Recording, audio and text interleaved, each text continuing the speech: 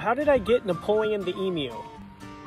I got Napoleon from an emu farm when I was just 15 years old in 2005. Napoleon was destined to become somebody's dinner. Luckily, I bought Napoleon for $100 and it included a bucket of food.